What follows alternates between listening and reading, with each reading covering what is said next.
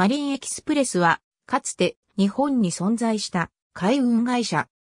前身は日本カーフェリーでシーコムに買収されシーコムフェリーとなった後、マリンエキスプレスとなる。東京湾の木更津航路、市原航路を70分で結ぶ小型カーフェリーを運行していたが、後に京浜航路への大型カーフェリー運行も開始し徐々に規模を拡大した。1997年には東京湾アクアライン開通により木更津航路を廃止。その後2004年8月には原油価格高騰などの煽りを受け業績が悪化、分社化を実施し、宮崎カーフェリーを設立。経営が悪化していた京浜航路は、マリンエキスプレス、大阪、貝塚航路は、宮崎カーフェリーの運行となった。しかし2005年6月の川崎港発の宮崎港行きの最終公開をもって、マリンエキスプレスが分社化実施後自社運行していた航路はすべて休止となった。その後2005年12月には、マリンエキスプレスの所有していた資産の売却、譲渡が始まり、特別生産が開始されている。分社化された宮崎カーフェリーの事業は引き続き行われている。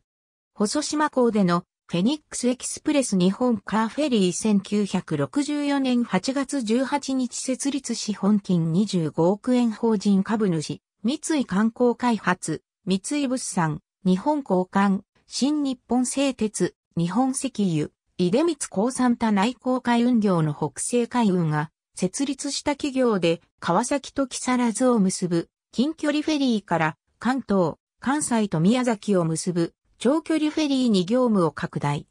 ほとんどのターミナルは自社所有物件だったことや当初より旅客、乗用車を重視した豪華なカーフェリーを多数建造したために早期から需要と実情が合わなかったために経営が悪化し、途中出資者は観光施設運営の三井、観光開発に変わったが、その後融資元の日本長期信用銀行が介入して、シーコムが経営権を買収。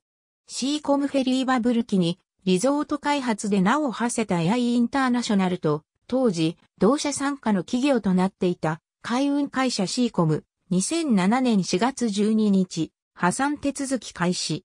の共同出資で設立され、日本カーフェリーはシーコムフェリーに事業上として1990年12月に解散。その後出資2社のバブル崩壊による経営不振で2社の融資元である日本長期信用銀行が介入し、1992年10月に2社との関係を解消し、マリンエキスプレスに社名変更。長距離航路浜湯宮崎、パシフィックエキスプレス短距離航路2本。カーフェリー時代マリンエキスプレス時代。ありがとうございます。